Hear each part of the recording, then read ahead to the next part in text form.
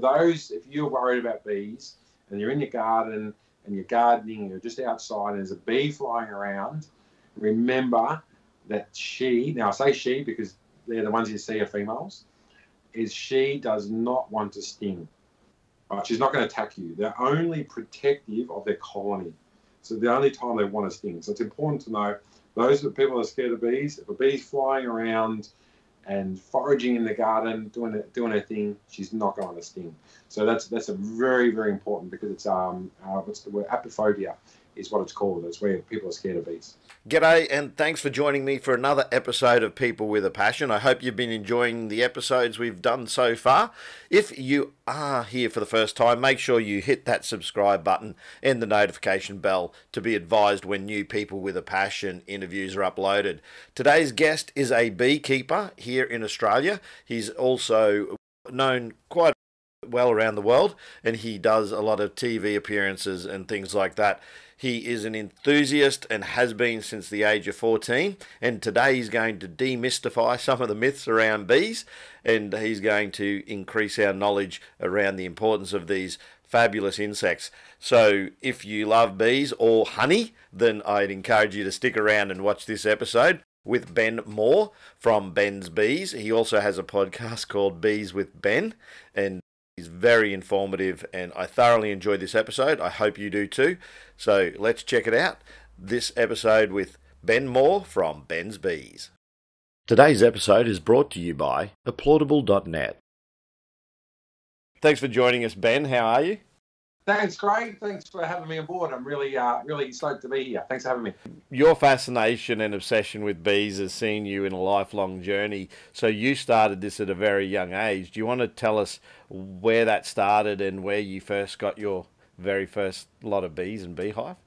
Yes, yes. I was a, a weird child. Uh, I was an only child, so I didn't have any brothers and sisters to play around with. So I actually um, when I was 10 years old, I had this book, Beekeeper in the UK, and I was fascinated by bees. And I'd actually see them out foraging and doing their thing. And then there was a wild hive not too far from my parents' place. And uh, but what was interesting that when I was 14, I said to mum and dad, I don't want a puppy or a kitten. I wanted a beehive. And they said, Well, you want a beehive? You save up your own money. And uh, and so I saved up sixty dollars and bought a beehive. That was 28 years ago, and uh, had bees ever since. And it's been a business for me. So I'm lucky uh, since 2006. I've been keeping bees, and that's been absolutely, uh, absolutely love it. So it's a borderline between uh, a passion and an obsession. Hmm. And uh, how did you go with your first beehive? Well, so the first beehive, I found a, a local beekeeper that the old man would uh, buy honey from. It was actually interesting. He'd sell the, the, these uh, big jars of honey. There'd always be dead bees in it. And I think he used to deliberately put them in there as a sign of his uh, authenticity in regards to his honey.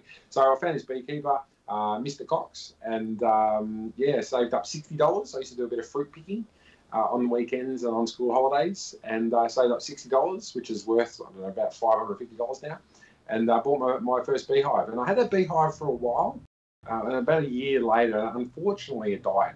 Uh, I'm not sure exactly why. I think looking at it now, maybe it was a queen failure or something wrong with the queen. But wax moth, a particular pest, come in and, and unfortunately took over the hive. But I remember um, Mr. Cox, he actually gave me my money back. that's so good. That's good. That worked out well for you. Uh, yes. I noticed um, on your socials as well that you ha- have been doing bees for some time, but uh, prior to that, you had an affinity for other animals and things, and you had a unique job in a pet shop. Do you want to explain how that love around uh, animals and things you know, was yes, fostered. yeah. So I was always fascinated with the Australian bush, and I was that typical little Aussie kid um, out in the country, be catching um, skinks and lizards and this type of thing. And so I always loved it, looking for snakes. I never find them, but I was always looking for them. Anyway, uh, I was always fascinated by their behaviour. But later on in life, I actually got a job as a pet shop, and I was there for 10 years. Now, it was not your normal pet shop with cats and dogs, it was only exotic type of animals. And I was lucky enough to breed some rare species of, of snakes and reptiles, and, and I was dealing with some institutions, zoos um, interstate. So that was a really cool experience. Yeah, and you just mentioned wax moth. That uh, what what's wax moth for people that might not be familiar with bees? That's why I've got you on is to educate us about yes, your passion. Yeah, certainly, Craig. Yes, yes, certainly. So what happens is, so wax moth is you know, bees get smashed by all different pests. So there's various you know, bacterial issues, fungal issues, viral issues, and pests. And one particular pest is a, a wax moth. And basically, it's like a little grub, and it's uh, this moth comes in at night time, and uh, a weakened colony, a strong colony will keep them at bay, but a weakened colony will actually be taken over by this wax moth. Um, so unfortunately, my hive did die. But what I did learn then is, you know, where there's uh, bad, there's often good. That whole that whole balance. So I was actually learned that if I get these wax moth grubs, the size of like a little bit like a big maggot, I was selling them to reptile keepers and for people going fishing. Hmm. I was getting ten cents each.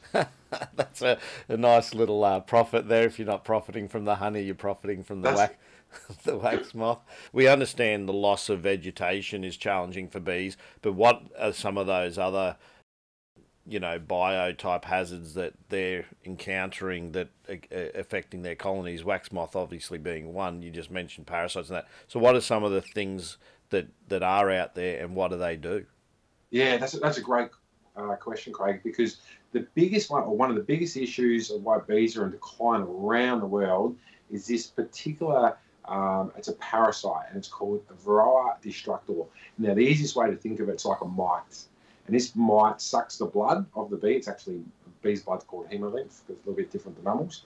And it sucks the hemolymph and it transmits viruses and diseases. Now, around the world, it's um, they have this mite, and Australia is the only continent not to have it, and it's a really struggle. So a lot of beekeepers overseas, I know some European keep, European beekeepers, and they'll lose on average per year about 40% of their hives.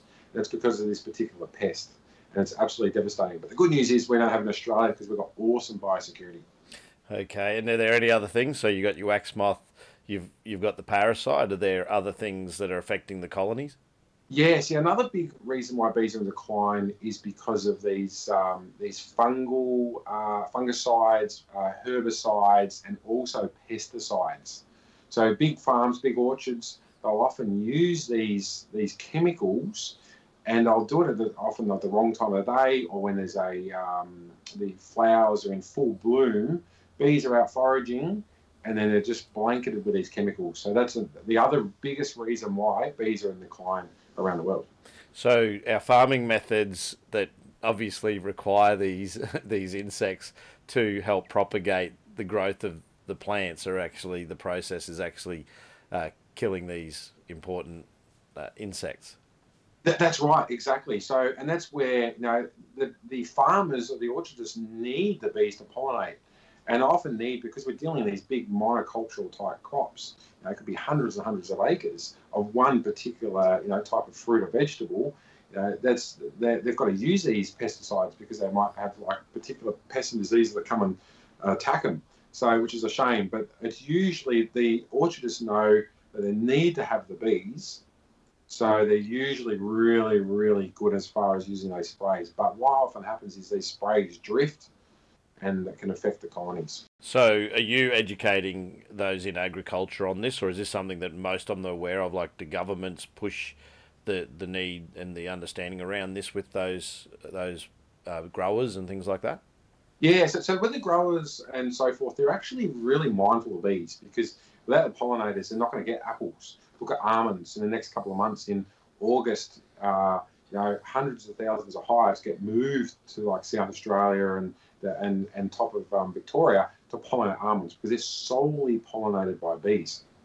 So they're becoming aware of the um, these chemicals and so forth. But something I've learned, it's not always necessarily the chemicals that are killing the bees; it's how they're applied is what's actually killing the bees. So, so in what way? So, is it like aerial spraying, or is it yeah, water? Yeah, aerial sprays. They have these big foggers, uh, big fogging machines, and they spread the fog out of this particular uh, chemical, and it's incredible to see. Like it's just this big, and you see um, the operator in the tractor uh, looking like they're um, heading off to outer space in this full, wow. you know, crazy PPE with big respirators and things. And you think, wow, that, would be a horrible job. Now you have a philosophy around bees.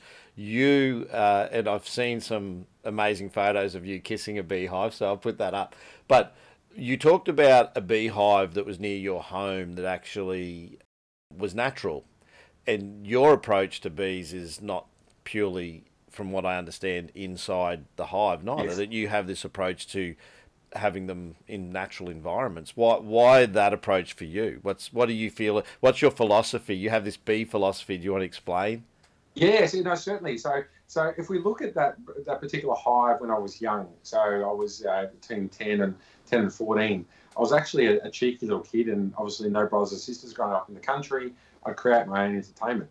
What I used to do is I would that particular hive, I would throw some stones and sticks near it to create vibrations to razzle them up. And I'd see how fast and how far I could run before I got stung. so I'd actually run to go as fast as possible. And I'd get stung, and mm-hmm. I, was, I, was, immune to it. It used to hurt. You know, yeah, these things yeah. hurt. But that goes on to say that particular strain of bees is, you know, they're designed to be what I call feral. Feral, unmanaged. So, and those these particular colonies do really, really well. We're in now with beekeepers, and we'll see this this photo come up that I'm kissing these these bees, like literally no, lips in there, giving them a kiss. Now that's genetics. So we can think of it like dogs. We've got these feral genetics, and we've got these these really calm genetics. So uh, and that's why it's important as beekeepers we keep these calm calm genetics. But my my philosophy around bees is you know people keeping bees is a, it's a brilliant rewarding hobby. You know, you know bees do sting, but once again we don't have these nasty bees. But what I uh, do with my bees, it's a case of I work with the bees, I don't work against them. Mm-hmm. And the much we can think, and you think of what, what, the bees need, and then I work with them, and that's the most important thing when it comes to uh, comes to beekeeping. So, what do you find that they need? Because you're treating them all like almost in a humane, like a, there's a humanity to what you're doing. You're looking at how we live and what would make us happy so you're almost asked the question, what would make my bees happy? So what are some of the things and approaches that you, you do to keep your bees happy? Yeah, so as far as keeping the bees, is they need, the, the biggest thing is they need food. Now, and that food is in the form of flowers. Mm-hmm. Or having flowers from the forage, but they need two things from those flowers, primarily, is nectar, which converts into honey, and they need pollen, which is their protein, or think of it like their steak. And that's why it's important that people know that obviously this seems crazy, but a lot of people don't realize this, but bees make honey for themselves. They don't make it for us. Mm. So it's important to know that. Trust me, a lot of people think that they make it for us. But the cool thing is, when conditions are good, bees are the only animal that will produce a surplus to their needs. So that's very important. So with the honey. Now, if we look at honey as far as why bees produce honey, it's a carbohydrate. And what that does is it helps keep a colony warm. So during wintertime, uh, it's winter in Melbourne at the moment. Uh, in the other side of the world during winter. They need this honey to maintain a temperature of 34 degrees Celsius. And what they do is they disconnect their wings and they vibrate. That produces metabolic energy, 34 degrees. That's amazing. See, I didn't know that. So thanks for educating us today. It's really good. Why why do you respect bees so much? Because you use the word respect as well. What's this this mutual respect you have from your experience with working with them? Yeah, so when it comes to respect, it's so important that everyone realizes that one in every three mouthfuls of food that we eat has been pollinated by a bee. So, roughly at, at the supermarkets, there's roughly about 100 different fruit and vegetables. 70 of those 100 fruit and vegetables have been pollinated by a bee. So, that's why they're so critically important to, to humans. So, that's why, no, that's the biggest respect. The other thing is, too, when they sting, it does hurt. Mm, so it's important that, that that gains respect. You're pushing and, and educating people around bees, but one of the things that you live, uh, so you practice what you preach, is having a bee friendly garden. So if someone's listening or, or, or watching this podcast, what are you telling, or what would you like to tell them around what sort of things they should be planting to attract bees to help the local colonies? Yeah, so, so when it comes to bees, the important thing is their food. Now, how do we feed bees? Because some people might you know, like the idea of having a beehive, but don't want to actually have a beehive as such because of work commitments and it depends on the area and so forth. So what we can do to look after the bees is give them their food. Now, the best foods are things like herbaceous plants.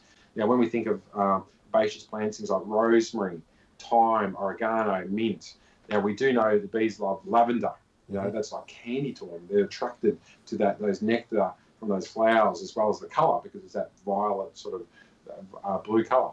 Uh, now, bees also too do really well on our native uh, flora. So in Australia, we've got some of the best bees in the world, and, and obviously the best honey because of there's over 600 different types of eucalyptus trees, and they all produce these very unique types of honey. So, which is really really cool. Is there a plant or plants that they avoid? Out of interest, is there Ooh, things anything that yeah, they actually don't that aren't attracted to? Well, certainly. So there is some, you know, roses, camellias. Some of these types of, they're not really big on them. Know, if I see a bee going near a rose, you know, as a human, we smell that rose and it's got this beautiful fragrance. But bees aren't really going for them. It's because it's nutritionally it's not, it's not that good. If we look at, we know during the end of winter, the start of spring, we see those wattles, that Cootamundra wattle. It's bright, everything turns bright yellow, which is obviously means spring's around the corner. It's rare to see bees on there. And if you do see bees on there, usually indicates that you know there's not much food within the area, and because uh, the bees are very um, find that that pollen and that nectar very astringent, mm-hmm. and that's another reason why we don't see bees really on olive trees. You know, olive trees don't need to be pollinated by bees, but like an olive, it's very a raw olive. Anyone's tasting one of those is the most horrible thing you can taste. The bees don't like them as well because that nectar, that pollen. so, so they're looking for things that have the highest return on investment as far as protein and exactly and, and things for themselves. And it's it, I don't know what their senses are, but you made a reference to lavender and the color of lavender. Is there from studies is there is it showing that they're gravitated to certain types of colors that those colors are signals to them? Yes, yes, certainly, Craig. So what they're what they're uh, going for is color, but also shape, and that's why the shapes. You look at certain things like, say, the flower of a borage. So borage is for those you know want to plant is that's a really great one because that yields a lot of nectar for the bees. But that particular shape of that flower and that color, that's like a target for that bee to come in and pollinate. And remember, that also uh, benefits the flowers as well because they need that pollination to happen. So, for those that aren't fully aware of how that pollination works, what is it doing? Is it just literally going from one plant to another, bringing the pollen to the flower? Pollen and transferring that over and creating pollination or you know fertilization is, is what's happening. But also, it's actually interesting when we look at that. Let's say someone's growing, say, eggplants, tomatoes, zucchinis, capsicum, and you get those really small fruit, and they're, they're quite small and, and, and don't not big and round and robust. It's actually sometimes the lack of pollinators why that happens. So the more times during a flowering period a bee can transfer the pollen, the more times that happen, the better what we call fruit set mm-hmm. that happens. So that's when you get those big tomatoes, those big capsicums. Okay, so there's a, a massive link to what we're growing in our own gardens and um, and bees. And if we're not seeing many bees in our area, it may well be because we're not feeding them. So the the education around that is there anything? I'm, I'm not sure. Have you produced any books or anything or any educational materials? That people can access. I know you're doing a podcast called um, Bees with Ben, is it? That's right, bees with Ben. Yeah. So, so for those that are enjoying hearing about bees, then uh, Ben assures me he's got a whole heap more information yes. around bees, a life, uh, lifelong passion and obsession with bees. So if you are interested in anything around bees, then make sure you check out the podcast, which I'll put a link in the description um, below. But is there anything or any resources that you can also direct people to that I could put in a description to help them find out about that information around guard, the gardens and what they could be planning? Yeah, yeah, no, certainly. So as far as there's you know a lot of good books, there's a, um, a fantastic book. Uh, um, it's called Two Two Million Blossoms, and that's a really good book for those wanting to get into bees in Australia. Is and uh, even overseas, this is a really good book. It's um, Australian Beekeeping Manual by Robert Owen. That's a great book. I'm working on a book myself. It's taking some time. So in the uh, future, I'll have a book. It's not so much a how-to book, but probably more about my experiences because I love that connection between you know people as well as bees. But as far as resource, there's so many cool different areas and so forth. There's some really good Facebook pages now too. And uh, the podcast I'm doing is we're in, interviewing other beekeepers from around the world, mm-hmm. so people can sort of listen. You know, say beekeeping in Norway. You know, obviously it's a lot tougher for them to keep bees as opposed to bee, you know, beekeeping in say New Guinea, which would be a lot different. Mm. So we've just had a whole heap of bushfires um, in Australia. What is that done in those areas for the food sources for bees? And you talk about the, them having to move or that they've been trucking for, for obviously yes. a reason.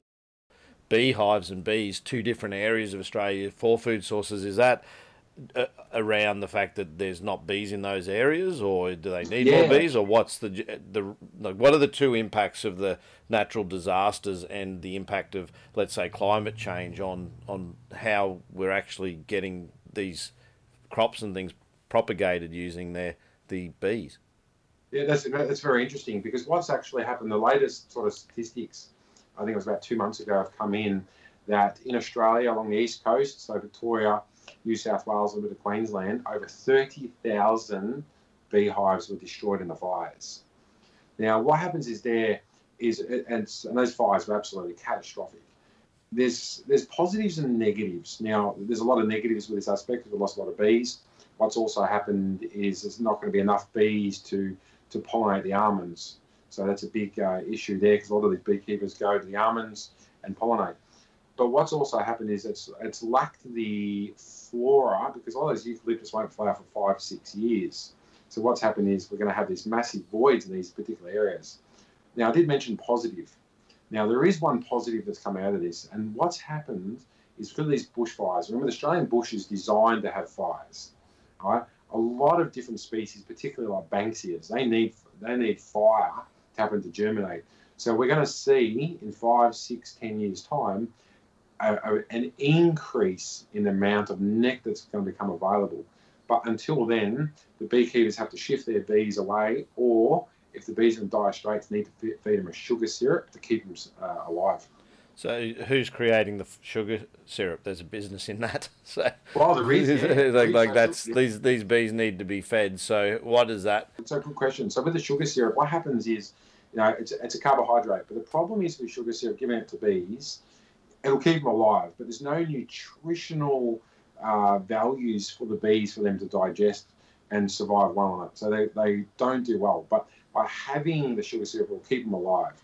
And that sugar syrup is basically um, uh, pure sucrose, uh, and that's just from cane sugar. Uh, it's white sugar, and it's usually two parts white sugar, one part water. It's dissolved, and those bees will survive on that. And that's sometimes that's important just until something could be coming in the flower and uh, just enough to keep them alive. But for those keeping bees in a suburban environment, we don't need to worry about that. And what about myths around bees? What are some of the myths around bees that you would like to clear up? Okay, that brilliant, brilliant question. For those, if you're worried about bees and you're in your garden and you're gardening, you're just outside and there's a bee flying around, remember that she, now I say she because they're the ones you see are females, is she does not want to sting. Right? She's not going to attack you. They're only protective of their colony. So the only time they want to sting. So it's important to know those are people are scared of bees. If a bee's flying around and foraging in the garden, doing it, doing her thing, she's not going to sting.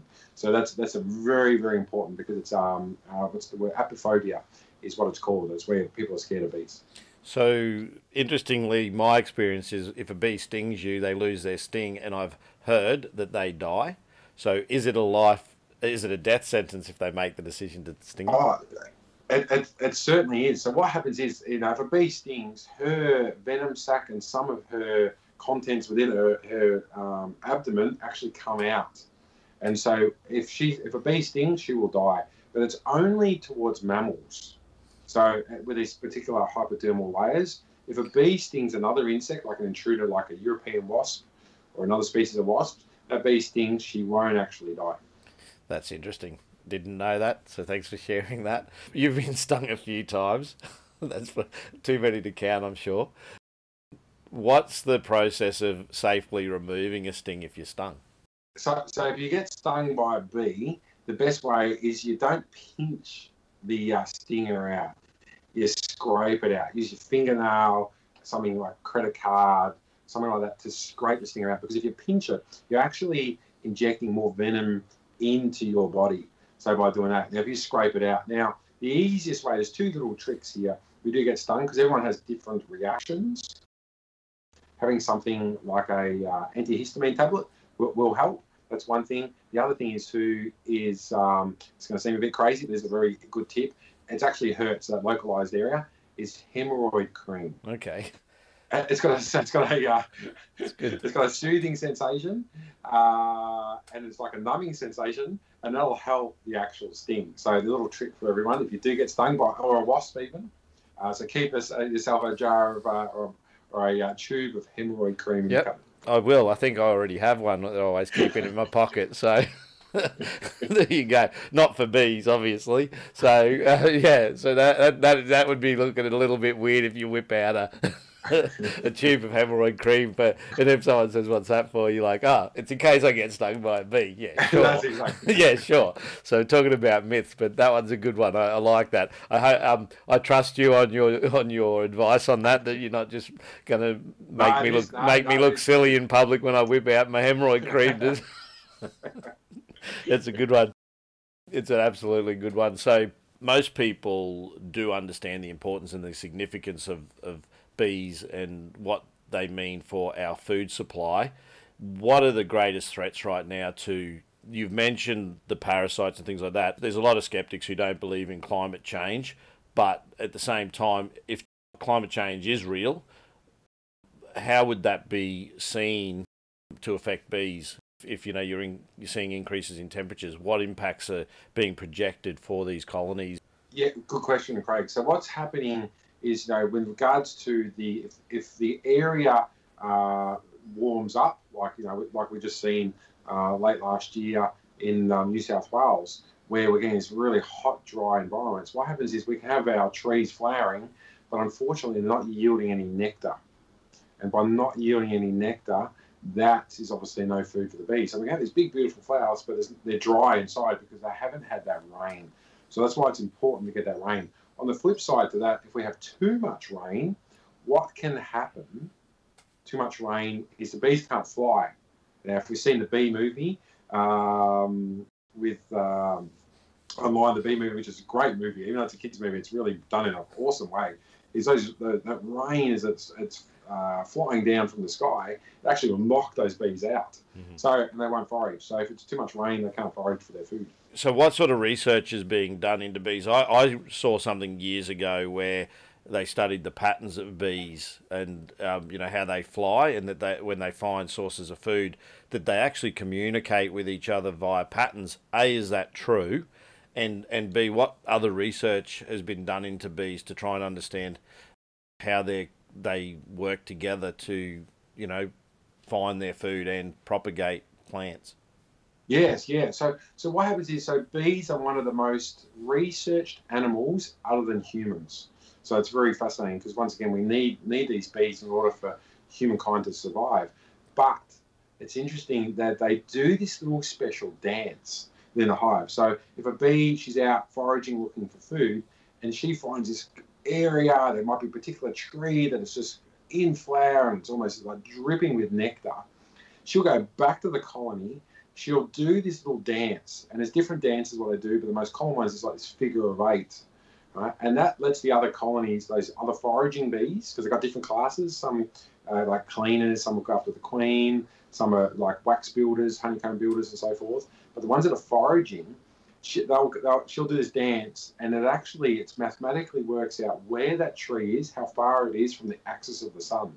So they've, they've worked that out, and you can actually if you watch where they do, you can actually work out exactly that spot where they are. That's that's absolutely amazing. Um, that's why I asked because I read something on that years ago and it intrigued me, and I was wondering if there's any further research being done on it. But but that just demonstrates a degree of intelligence around what they know what they're doing, even though they might not be fully versed in conversation. It's certainly the basic um, transmission of some form of communication. So you touched on hierarchy there a little bit. So what is the hierarchy of a hive? Okay, so the hierarchy. So predominantly within a colony. Now the colony uh, is obviously has one queen. Now it's, the queen's not necessarily the boss. You know, they work as a collective. They work all together. But they start off as um, predominantly workers, which is you know usually roughly about ninety five percent. Depends on the time of year. Ninety five percent of worker bees. So these are these these females, and and they start off when they hatch. It takes twenty one days for a, uh, a worker bee to hatch. And when she hatches, she starts off as a cleaner. She's doing the janitor skills, uh, janitor work within the hive, does the cleaning, and so forth. And she starts off, and as she gets older, she'll eventually become a forager. But there's also the queen. Now, the queen only ever one queen in a hive, and she'll live up to seven years, and she's just an egg laying machine. She lays eggs. When times are good, conditions are good, she'll, she'll lay up to 2,000 eggs per day. Then, obviously, we need uh, that queen's got a mate. So we have these boy bees. Now, these boy bees are called drones. And there's usually in springtime, less than 5% of them are colonies drones. And they don't sting, they've got big bums, they've got these big eyes, and all they do is mate with the queen. So, and if they do mate with the queen, as soon as they mate, bang, there's a click and they die. Mm. Right now, the, these boys bees they can't do anything for themselves. They can't uh, feed themselves. They can't look after themselves. Uh, usually in uh, around autumn or fall, but the uh, the colony will kick out all the boy bees because they will only mate during spring and summer. Okay. And uh, you you hear the word worker bees and things. Are there soldiers as like with ants? They tend to have like a, a group that is there to just protect the hive. Yes. There is, yeah. And what they do is actually sit at the entrance of the hive. So they'll sit at the entrance and they're doing their checks as a, a bee comes in because that bee comes from another colony. They she smells different. She's got a different pheromone signature. So those guard bees will actually keep those other ones away. So you know because it will get robbers. You know, bees will often rob from another actual another hive. And you, you also uh, mentioned earlier the potential for hives to merge. How does that happen? What happens there? Yeah, so the hives can merge. So as a beekeeper, we can, uh, in a positive way, manipulate a hive. So get two smaller hives and create sort of one sort of big hive. But on the flip side of that, the bees' way of reproduction is swarming. So that's when the old queen and roughly half the workers take off and they go looking for a new home. And that's how bees fundamentally reproduce. Hmm. And what they get a bad rap when they're in a natural environment or our home environment. If uh, bees happen to swarm and you know decide that they're going to set up shop under an eave or on a tree in the backyard. So, what do people need to be doing if they encounter a, a beehive that's formed in nature? Yeah, so it's in, so it's important that if we see bees, be mindful. Don't go near them. Uh, don't you know, throw anything at them. Don't wet them with water. I don't know. Sometimes people get scared and their first reaction is wet them water. Is is call a beekeeper. The way the uh, bees reproduce is they'll take off with the uh, roughly half the workers and the old queen. And when they take off, they'll find a spot somewhere like under an eave, compost bin, possum box, or something like that. And the problem is, it's important that you know call a beekeeper, you know, to actually remove them because they will obviously safely look after those bees and make sure they're all good. And it's important that you get a professional to do it, not sometimes people. It's important that they get really well looked after, and also quarantine because you know they do have various pests and diseases. Do they find other hives that you've created, or do they literally gravitate to nature more? Yeah. So what you can do, you can help help the, the bees by giving them lots of room. So as a beekeeper, we want to avoid them sort of um, swarming. So what we do is we actually give them lots of room because the bees want to build up. So you can do that. Or another way is what we do is we create these splits. So you can create another colony. We can do this positive way, but an artificial way to actually set up another colony to prevent that from happening. So it's important. There's a there's a code of conduct all around the world, you know, keeping bees, and it's important because we don't want bees being a nuisance mm-hmm. as well. Because you know people are scared of bees, so they can sting, and um, that's why it's important that you know we do manage the hives in, in uh, the, the population. And God save the queen, but how does another queen become queen of her hive? So you say one chooses to leave. Is it a choice, or is there some dynamic there, or obviously? Yeah. So what, yes. So what happens is so that there's a, uh, a queen there, and that old queen takes off with half the workers. And what they do is they need to produce a new queen.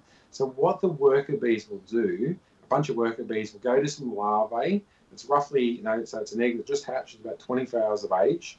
And what happens is they give those larvae extra royal jelly. And there's usually roughly about a dozen of them. And the extra rich source of royal jelly creates this bigger bee, being the queen bee. And then what happens, really fascinating process, is there's roughly about, about a dozen. Then what happens after 16 days, the first one will hatch. And what she'll do, she'll go around to all the others and kill them all. and then she's the successor. Then she'll go. Uh, so there's only ever one queen, and then she'll go on to some um, uh, get her uh, do some practice flights, and then she'll go on a mating flight, and mm-hmm. she'll mate with as many drones as possible, and then she retains the sperm from all those drones. All those drones die. She comes back into the colony, and she lays eggs, and then until that process where she may swarm, and then um, and then that happens again a year or two years later. That's an intriguing process from a survival of the fittest approach. Is when she leaves the colony, she could easily just stay there and be lazy and say, "Come on, fellas, you know, come That's to right. me." But but it's almost like catch me if you can. Strongest survive. Well, none of them survive if they get with her, but yeah. so it's a bit of it's a bit of a downer for those that are thinking they're getting something beyond beyond their their little escapade. But um, the the truth is is it's an intriguing process to hear how they've worked it all out. Um, and then she returns to the colony, fertilized and looking to to lay for such a long period. So it's phenomenal when you actually. It's intriguing and I'm sure that's where your fascination, like there, it is a truly fascinating interest and passion to have. I think is, um, I, I'm I don't have ant colonies, but I've always been fascinated with ants, um, because I look at them as mimicking or or humans. I, I, I see that we are colonies, whether people understand it or not. Our hives are our cities, our our yes. homes, our our streets are our you know pathways to these places that we all congregate. And in a way, there's there's a lot of humanity in the hive, if I could say that, from a perspective outside looking in. That you know, there's so much that they can teach us. Do you see that parallel as much as I've seen it, like with say colonies of ants or termites and things like that? Yes, and with bees, we can actually go one step further, Craig. And so what happens is bees do two things that uh, other insects don't, and it's very similar to mammals. Number one is they produce heat. So that heat, you know, I think our temperature is 36, 38 degrees or bees at 34 degrees. No other insect produces heat on this type of level you know, for the colony. The other thing is with bees is they produce milk. Now, when we think of milk, they don't have teats as such, they've got glands, but this milk is in the form of royal jelly. So that's very similar to what humans do. Now, it is very, it's different, but it's when you look at it, that aspect and the way they work together and so forth, it's an absolutely fascinating, complex structure within a bee colony if there's someone listening who happens to be 10 to 14 years old and they're looking for something a little bit different and they're in an environment where they could safely keep bees and present it to their parents as an option, what would you say to someone considering this as a potential passion? Oh, I, I definitely, definitely jump in and, and do it. Obviously, you got to get mum and dad, you know, or your guardian over the line in regards to uh, keeping bees but it's research. You know, it's so much easier now than it was for me when I was 14. You know, with, uh, obviously you've got the internet, which is great resource, but also two clubs. You know, beekeeping clubs are great, and they're in all cities all around the world. You can find a beekeeping club because that way you can find a mentor. And if you have a mentor, mentor someone that can help you along the way, where you've got that one person you can ask them questions. So, and keeping bees is such rewarding. Uh, forget the honey. They, obviously, they produce honey, which makes the most ideal present. You know, you give someone a jar of honey from your bees, from your backyard. I don't know if there's a gift that could be any better than that. And is it is there any regulations around um, key, beekeeping in urban areas? I'm not. Yeah. So the re- yes, yes. So there's regulations. Uh, so regards to the regulations, it's, um, it's in say Victoria in Australia. We've got a, a, a uh, Department of Primary Industries, and we've got a certain code of conduct. And it's not, not nothing to do with councils for us. We're just going to make sure they're two metres from a fence, can't have more than two hives on a, uh, a, a normal size uh, suburban block. So there are some prerequisites. Uh, overseas, you know, certain um, areas are going to be slightly different. They have different ways of keeping bees, but you're allowed to keep bees in all of Australia. And in all your experience and all your life of doing this, you're doing it as a business now. Um, I've got a, it's a twofold question: is what have you seen as the biggest challenge for the industry as a from a financial standpoint, and what opportunities do you see? Yeah. So as far as it's a tough job because the biggest thing is you're dealing with Mother Nature. So I'm dealing with the elements now. I don't have you know hardly any work because obviously it's winter time at, at the present, so there's not much happening come spring, it's really busy and moving bees and looking after them and harvesting honey in the spring, summertime. So it's a tough job. So it's a labour of love. That's that's the first thing. Uh, as far as challenges, I think it's important within Australia we maintain this varroa mite, this, this varroa destructor. We make sure we don't come to Australia because that'll devastate all our bee colonies you know, here. So it's important that, but also too, when we're buying honey, support your local beekeeper and find out, you know, your local beekeeper. There's a honey map online, and you can find out where your beekeeper is and support them because the problem is we do have issues in Australia as well as overseas where some honey is imported from various countries and it's not ethically produced and or it's full of sugar syrup and not genuine honey. So you say not ethically produced. So what does that link and tie to? What is not ethical in the production of these honeys? Is that what you mean by they they're tainted with other products? Yeah, so they can be tainted with other products like you know high fructose corn syrups and other you know uh, types of sugars that aren't natural uh, for the bees, but also to the way it's harvested. You know, harvesting honey is a uh, it's a very uh, it can be a, a, non-invasive process. You know, give the bees smoke, they get some calm, and we take out our frames. Often, some beekeepers, you know, uh, various countries, what they'll do is they'll take the frames, they've got the baby bees, all the brood in there, and they'll take that small amount of honey and don't worry about the brood. And a lot of bees can get squashed in the process. So that can happen as well. Is there anything you want to add around our discussion today on bees that we haven't covered? Oh, good question. Um, probably the supporting beekeepers, supporting honey, flowers, clubs, king bees. No, I think that's pretty nailed it. That's, yeah, um, cool. That's good. I hope you liked this episode. If you did, please give it a thumbs up and feel free to comment. If you haven't yet subscribed, hit the subscribe button and the notification bell to be advised of new interviews when they're uploaded. I hope you join us again sometime. Catch you later.